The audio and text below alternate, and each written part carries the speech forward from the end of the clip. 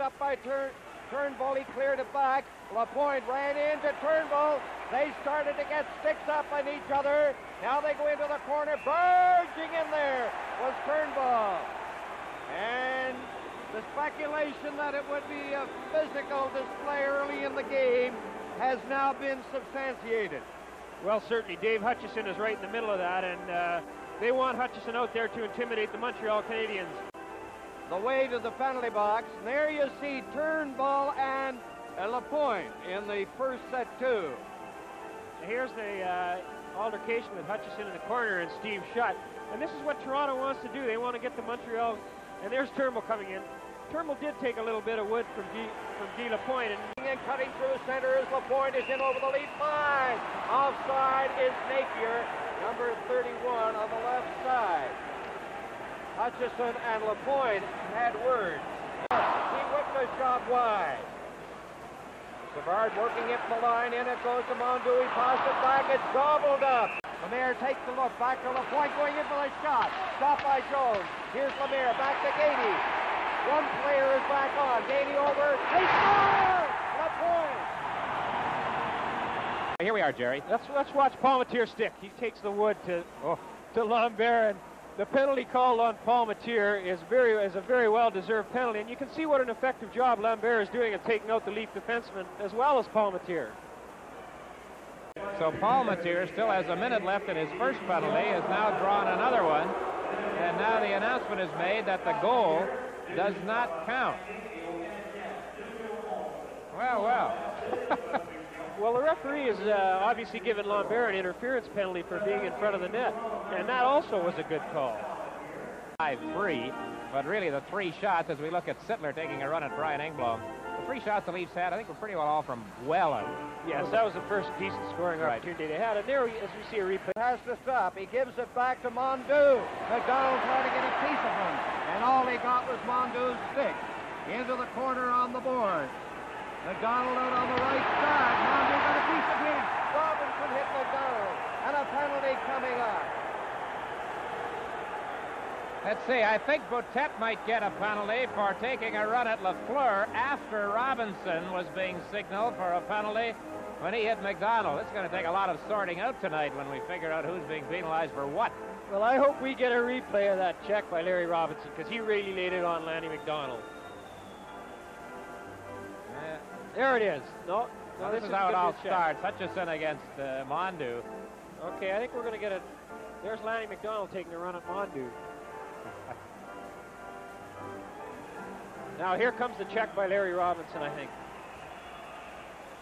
There it is. A pretty solid check by a big man. The side of the net. Turnbull with Lambert after him. They go into the boards. And Boutette going back in there to check Tremblay. They may start something.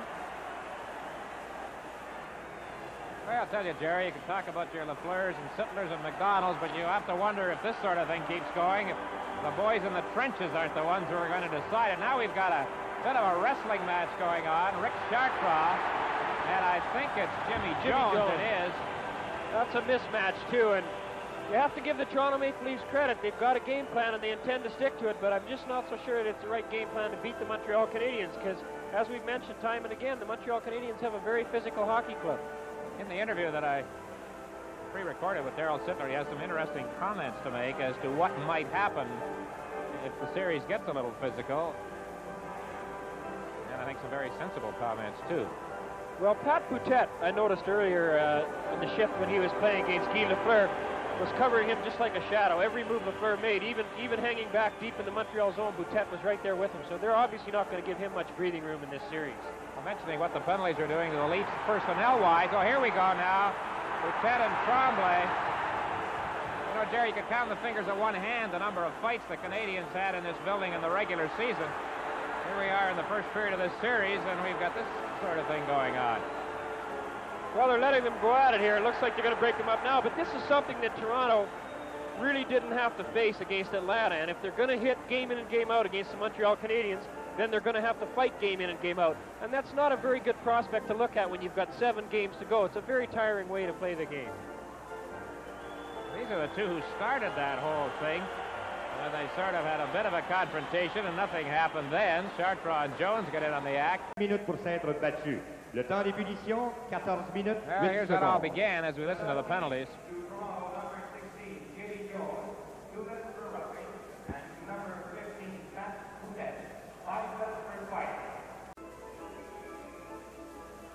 Watch him go around the outside of Quenneville there.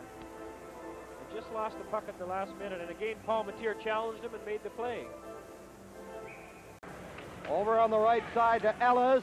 Ellis over the line. There's the shot. Dryden. It knocks Dryden's mask off. Here's Salming shooting it. His shot is high. Dryden is still down. His mask is in behind him. The puck over. We'll get another look. Now there's where Dryden loses the mask. There, Danny, see, you can, I told you he shaved his mustache off.